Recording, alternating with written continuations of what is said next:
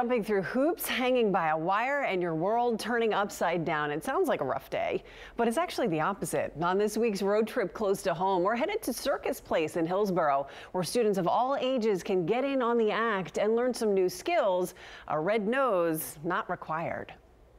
They say life is a circus, but here at Circus Place in Hillsborough, you can learn to be your own ringmaster and then some. It's an athletic endeavor that lets you be creative.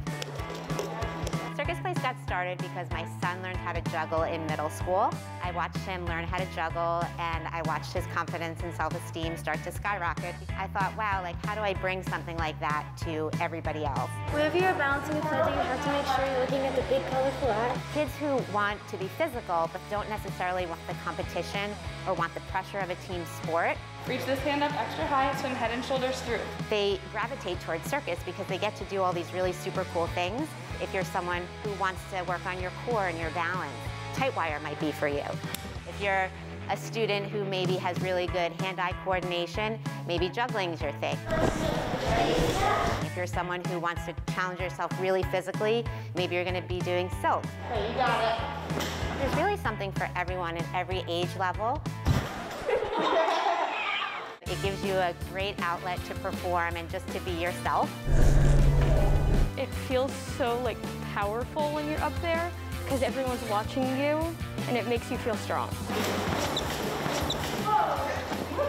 It's a really fun and great way to get like um, activities in and like work out. I started circus probably when I was about 63.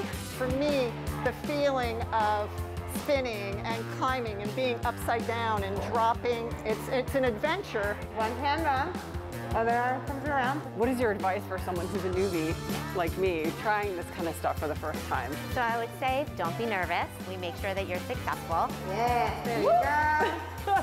and don't be afraid to try something new or try something that you think looks really hard because we'll get you there. And style. Yay! I'm Circus you're going to have an amazing time because it's super fun. You're going to build your self-confidence and you're going to feel really good while you're doing it.